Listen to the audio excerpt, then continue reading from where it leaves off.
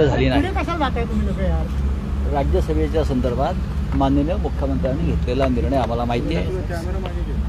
आणि माननीय उद्धव ठाकरे पक्षप्रमुख आमचे. ते जो निर्णय घेतील तो पक्ष पुढे नेईल. त्याच्यामुळे खास त्याच विषयावर चर्चा झाली असं नाही इतर अनेक विषय संघटनात्मक राज्याचे असतात त्याच्यावरती मुख्यमंत्र्यांबरोबर चर्चा होत असते काही आमदार सुद्धा होते. विनायक राऊत सुद्धा होते. चर्चा सुरू आहे अनेक विषयांवर. नाही पण आज सकाळी काही मराठा संघटनांचे प्रतिनिधी तुम्हाला भेटले. त्यांचं असं म्हणणं होतं की म्हणणं आहे छत्रपती संभाजीराजे यांचंही काही म्हणणं आहे. आणि शिवसेनेचंही एक मुद्दा आहे. आमच्या सगळ्यांचं असं म्हणणं आहे शिवसेना पक्षप्रमुख उद्धवजींचं म्हणणं आहे की सहावी जागा जी आहे ही शिवसेनेची आहे. आणि शिवसेनेचा उमेदवार त्या जागेवरून लढेल आणि विजयी. नाही पण शिवसेनेची जी अट आहे नाही असं काही नाही. नाही शिवसेनेची जी अट आहे की छत्रपतींनी शिवसेनेची शिवसेनेत प्रवेश करा त्यावर म्हणजे काही विचार होणार की कसं काही?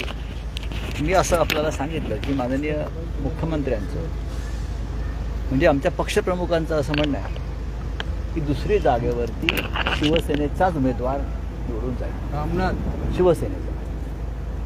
आता छत्रपती हे आमचेच आहेत. त्यांचं आमचं एक नातं आहे. आणि आम्ही त्यांना विनंती केली आहे जर तुम्हाला ही निवडणूक लढायची असेल तर आपण शिवसेनेमध्ये या. आणि मग त्या संदर्भात मुख्यमंत्री निर्णय घेतील. त्याच्यामध्ये कोणाच्या भावना दुखवण्याचा प्रश्न येत नाही. जागा शिवसेनेची आहे. आम्हाला राज्यसभेत आमची एक जागा वाढवायची आहे. मागच्या वेळेला राष्ट्रवादीने त्यांची जागा वाढवली. पुढल्या वेळेला आणखीन एखादा पक्ष वाढवेल. घाट्यामध्ये आम्ही आहोत. शिवसेना हा शिवसेनेचा उमेदवारच पाठवण्यावरती ठाम आहे.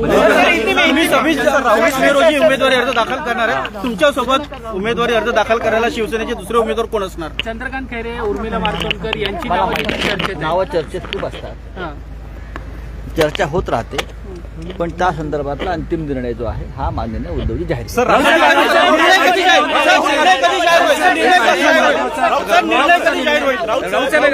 नवाब मलिक नवाब मलिक आणि दाऊद यांचे नवाब मलिक आणि दाऊद हाँ, सर बोल रहे राहुल गांधी ने लंदन में कहा है कि भारतीय जनता पार्टी ने पूरे देश में केरोसिन फेंक दिया है। बस एक स्पार्क की ज़रूरत है। और सीबीआई और ईडी ने पूरे स्टेट्स पे काबू कर लिया जैसा पाकिस्तान में हो रहा है। बड़ा स्टेटमेंट आप क्या कहेंगे सर?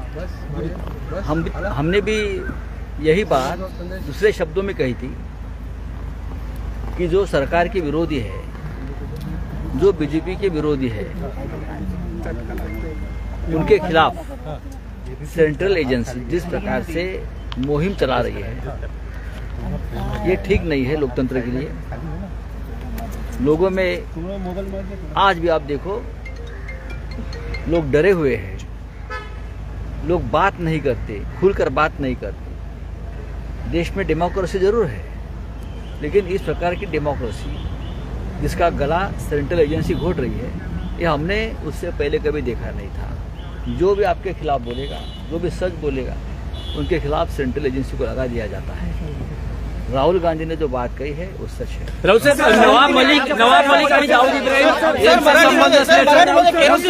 सर सर, मराठीमध्ये केरोसिनवर सर राऊत सर